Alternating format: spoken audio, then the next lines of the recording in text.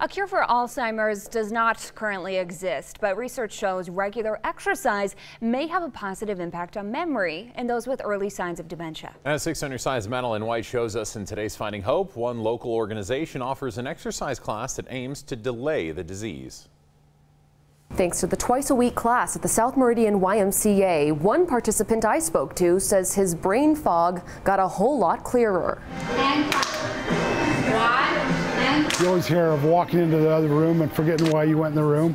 Well, I didn't even remember getting up why I was going to the room, you know. Ron Colbert knows exactly why he walked into this room, though. Keep me active, keep me motivated. It's an evidence based exercise class called Movement for Memory. And it's doctor approved. Moderate exercise daily has been shown to, you know, both delay the disease and uh, may eventually be considered preventative or protective. It's for people with mild cognitive impairment or MCI. It doesn't mean that they're going to get dementia, but we know individuals who have MCI have an increased risk of getting Alzheimer's or another form of dementia. Ron comes twice a week to this class to partake in physical activities and activities like this. So what was our word phrase today?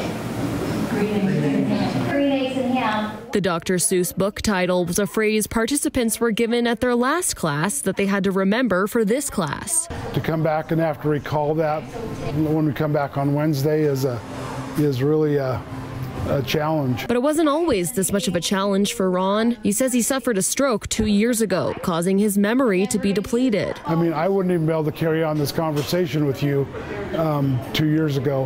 I would just blank out. But with consistency and hard work, today is a new day for Ron Colbert. It's really sharpened my mind and my memory. I see those changes as well. And then I love going back to the participant and say, like telling them, like, look how much you've improved. That's amazing. That's great progress. The class comes with benefits physically and mentally. Overall, we just show that exercise is just good for your brain. And Ron says the social aspect doesn't hurt either. Because it would be really easy to, slip, to sit home and slip into a state of uh, depression, you know. And so this really, like I said, gets you out, makes you interact with people and see bright smiling faces. And so uh, it's, it's, it's fun. Right now, the Movement for Memory class is held only at the South Meridian YMCA, but thanks to a grant, this fall they'll host the program at the West YMCA as well. In the newsroom, Madeline White, 6 on your side.